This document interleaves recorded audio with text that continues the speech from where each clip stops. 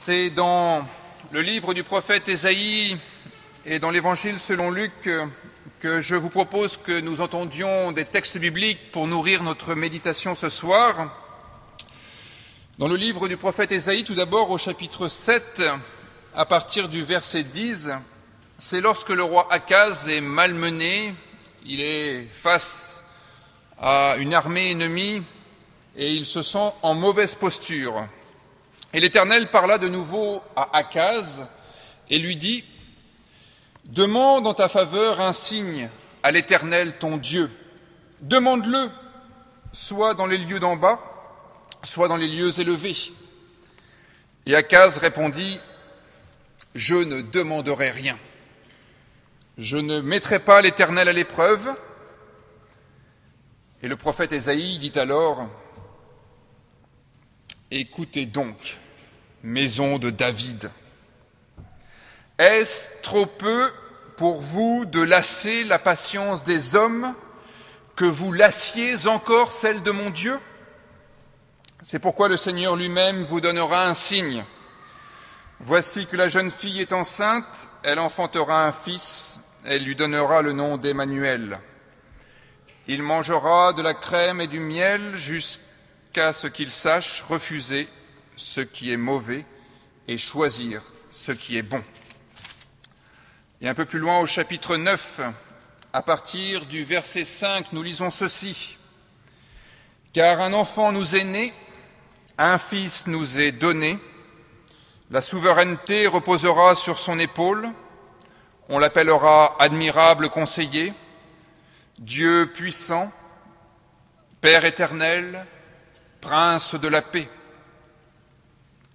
Renforcer la souveraineté et donner une paix sans fin au trône de David et à son royaume, l'affermir et le soutenir par le droit et par la justice dès maintenant et à toujours, voilà ce que fera le zèle de l'Éternel.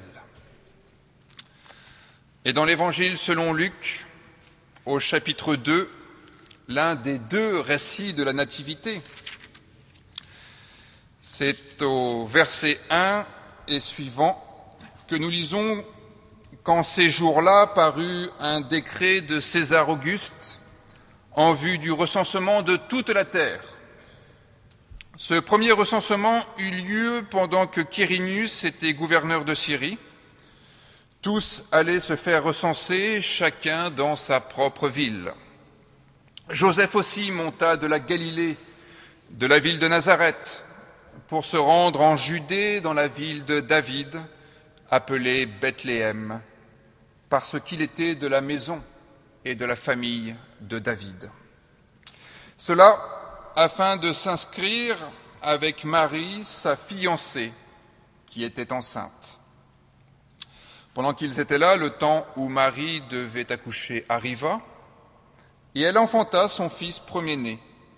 Elle l'emmaillota, et le coucha dans une mangeoire parce qu'il n'y avait pas de place pour eux dans l'hôtellerie. Seigneur, ta parole est la vérité, alors de grâce, sanctifie-nous par la vérité. Amen.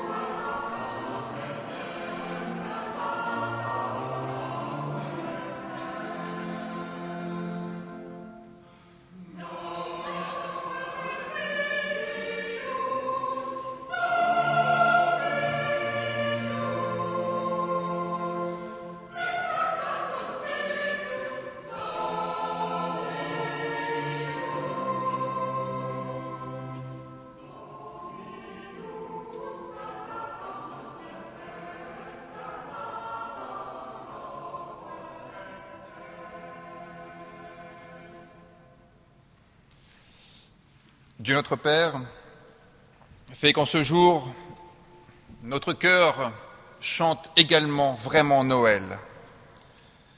Que nous répondions à ce don merveilleux dans un élan de reconnaissance et de foi. Toi qui as choisi pour te révéler à nous l'humilité de la crèche, ouvre nos âmes au mystère de ta venue. Rends-nous humbles de l'humilité de Jésus, obéissants de son obéissance, aimants de son amour, afin que nous entrions dans ta joie.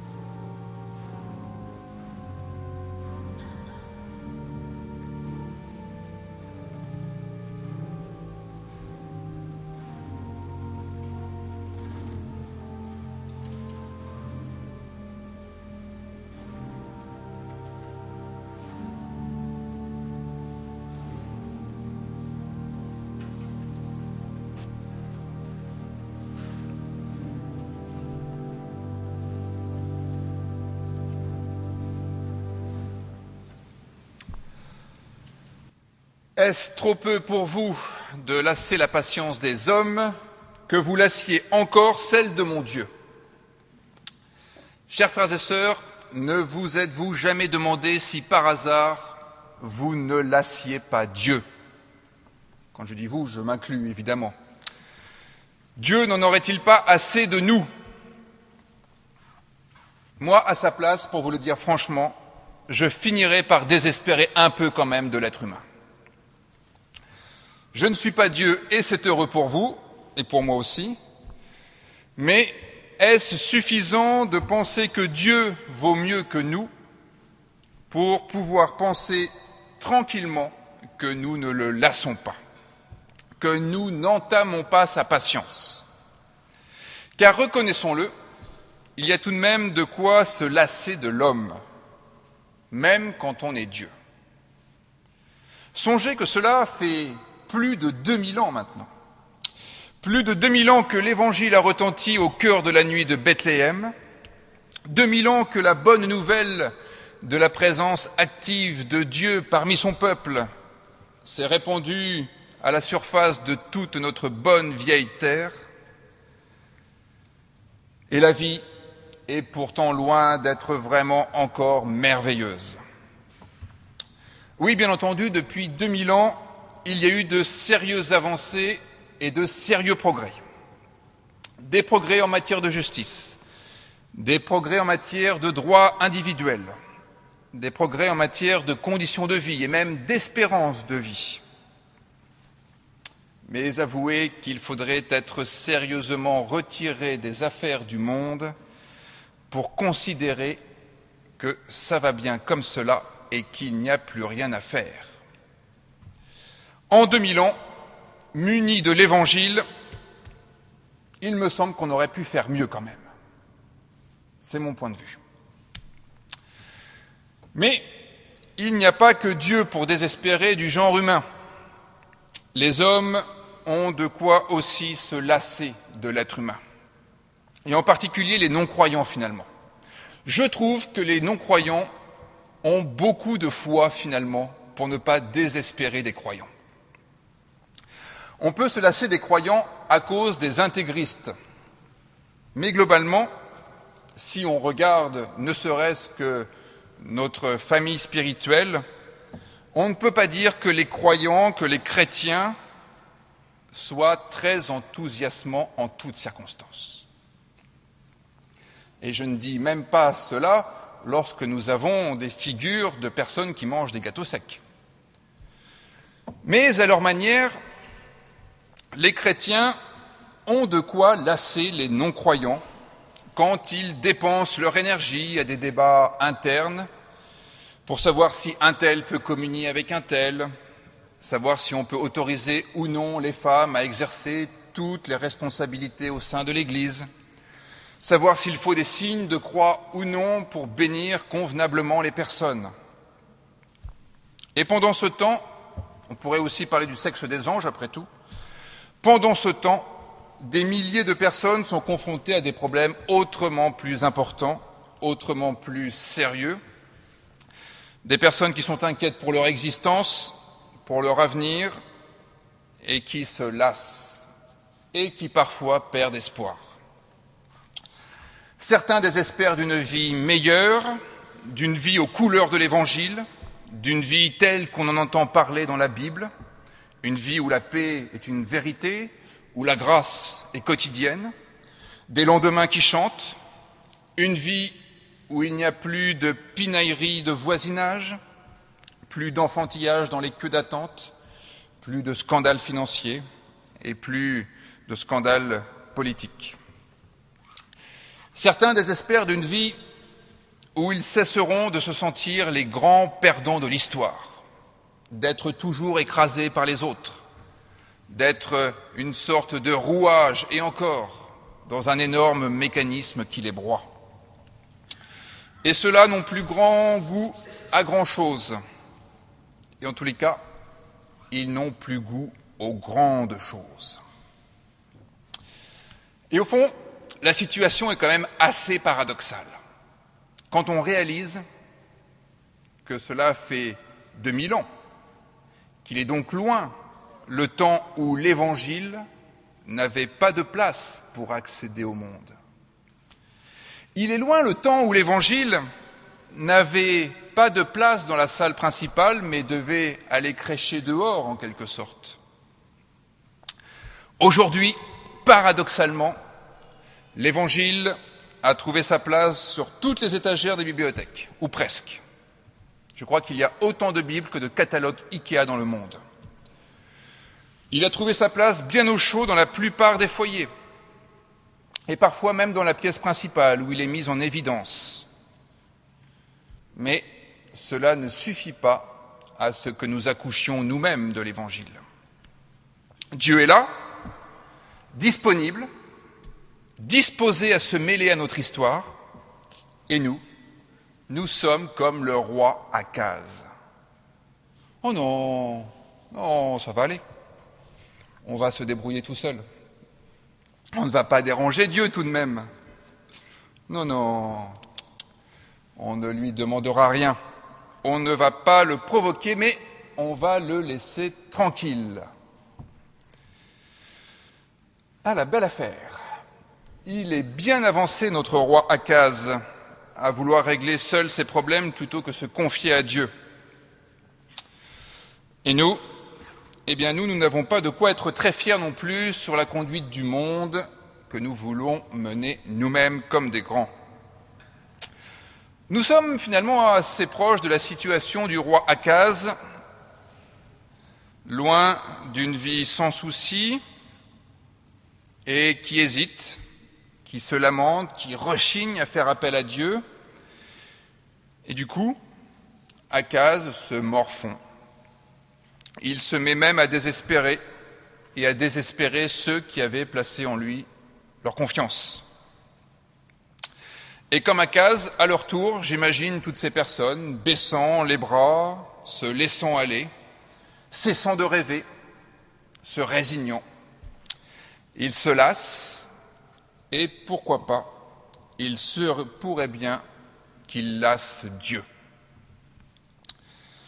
Sauf que Dieu, fort heureusement, ne manque pas de ressources et qu'il ne se lasse pas si facilement. La lassitude gagne les troupes, qu'à cela ne tienne, il réagit par un signe. Une jeune fille va mettre au monde un enfant dont le nom, Emmanuel, incarnera parfaitement le fait que Dieu n'abandonne pas le monde à la dérive, mais qu'il insiste, et qu'il insiste encore, pour nous aider à reprendre pied dans notre vie et à faire face. Un enfant, c'est sûr, c'est un excellent remède contre la lassitude, car il faut vraiment vouloir s'ennuyer quand on s'occupe d'un enfant. Mais, oh, d'un adolescent aussi d'ailleurs. Mais le bénéfice de ce signe offert par l'Éternel n'est pas d'abord de se laisser attendrir par un petit bout de chou adorable. Le premier bénéfice, c'est de réapprendre à dire oui à la vie. C'est le oui de la jeune fille. C'est le oui de Marie. Qu'il soit fait selon ta volonté. Je suis ton humble servante. Je dis oui. C'est d'accord. Mesdames, c'est aussi le oui de Joseph. Je ne l'ai pas repris, mais Joseph aussi adhère au projet de Dieu. Oui à la vie, oui à l'action, oui pour entreprendre, même si à première vue cela semble compliqué ou compromis, voire fichu. Oui, même si à première vue il n'y a pas vraiment de place voire pas du tout de place, pas franchement de marge de manœuvre. Le premier bénéfice de cette nativité de Noël, c'est de nous redonner goût à la vie, même si le contexte est hostile, même si nous sommes confrontés à l'inimité, même si nous sommes face à des ennemis qui sont prêts à nous retirer la vie. Noël Noël, c'est d'abord un énorme oui. C'est le oui de l'adoption, c'est un oui à la vie. Le deuxième bénéfice est relatif à l'éducation que suppose cet enfant. Car il ne s'agit pas de mettre au monde un enfant de plus, histoire peut-être de compenser la mort prochaine d'Akaz. On ne met pas un enfant au monde pour équilibrer les naissances et les morts, pour équilibrer la pyramide des âges, pour payer les retraites. L'Emmanuel, qui vient au monde, est qualifié de titres éloquents qui disent à quel point son existence a du sens, à quel point sa vie est bien plus qu'une unité qui sera retenue dans le recensement qui accourt. Conseiller admirable, Dieu fort, Père à jamais, Prince de la paix. Eh bien, nous avons là une bien belle carte de visite. Une carte de visite qui pourrait faire office de déclaration de foi à chaque fois que nous essayons de balbutier quelque chose sur ce Dieu-là. Emmanuel, Dieu qui se rend présent au cœur de l'humanité. Emmanuel, Dieu avec nous, littéralement. Eh bien, c'est Dieu qui cherche à nous conseiller, c'est Dieu qui cherche à nous affermir, à nous rendre plus forts, c'est Dieu qui cherche à nous féconder comme le fait le Père, c'est celui qui nous permet d'établir la paix, le prince de la paix. La nativité, c'est le projet de Dieu qui s'incarne, qui prend chair, qui se réalise, qui cesse d'être du côté des belles idées, des grands théorèmes, pour se concrétiser dans l'histoire, dans notre histoire. Noël, c'est un projet éducatif. C'est Dieu qui s'efforce de nous rendre plus humains en nous faisant reparcourir le chemin de l'humanité, depuis l'enfance et ses apprentissages vers cette vie tant espérée où la paix devient un véritable art de vivre, selon les termes que nous trouvons un peu plus loin chez Ésaïe, au chapitre 11, vous savez, ce chapitre où il est question du loup et de l'agneau qui séjournent ensemble. et que le pasteur Pernod nous a présenté il y a deux semaines. Se nourrir de lait et de miel pour apprendre à discerner le bien et le mal. Voilà qui n'est pas banal. C'est le signe que Dieu nous fait opter pour un système de référence qui est fondé sur la douceur plutôt que sur la violence. Le lait et le miel pour apprendre à discerner le bien et le mal. Pour appréhender la vie, pour éclairer nos choix, pour nous orienter, Dieu nous propose de nous régler sur la douceur et sur l'amour, plutôt que sur la violence et sur la haine. On pourrait se dire, pour résister dans un monde de brutes, soyons des brutes avec les brutes, soyons des loups avec les loups. Dans un monde de brutes, au plus fort de la violence exprimée par le combat, par le climat de guerre qui surprend le roi Akaz, la douceur, le lait et le miel reste le système de référence privilégié par Dieu. Le signe de l'enfant qui naît est une manière de nous entraîner dans une vision apaisée, attendrie peut-être, une vision du monde qui se met au diapason de cette berceuse que vous avez entendue. Peut-être la plus ancienne berceuse que nous connaissions, une berceuse qui a conservé le texte hébreu qui dit ainsi, car un enfant nous est né, un fils nous est donné, et en hébreu cela sonne comme une berceuse, qui yeled yulad lanu, ben nitan lanu. Yulad lanu, ben Nitan Lanou. Noël est une comptine, mais pas une comptine pour nous faire dormir debout. C'est une comptine qui nous atteste que la douceur, c'est le mode de vie qu'il faut privilégier. Oui, bien sûr, il serait curieux si nous nous adressions à nos contemporains en leur chantant des berceuses. Et pourtant, aller vers l'autre avec l'esprit de Noël, c'est aller de la même manière que le père ou la mère se rend vers son enfant. Lanou, ben. C'est la douceur qu'il faut privilégier dans la vie. Frères et sœurs, peut-être pourrions-nous essayer de retenir en cette veillée de Noël que Dieu, loin de se lasser de nous, nous fait éprouver sa présence agissante pour nous sauver de notre propre lassitude, de l'ennui mortel, du désespoir. Et d'autre part, constatons que la voie ouverte par le Christ, ce chemin qu'il a, emprunté, atteste que nous pouvons envisager la vie non pas sur le régime de la violence ou de la dureté, mais que nous pouvons envisager la vie avec douceur et avec délicatesse. Amen.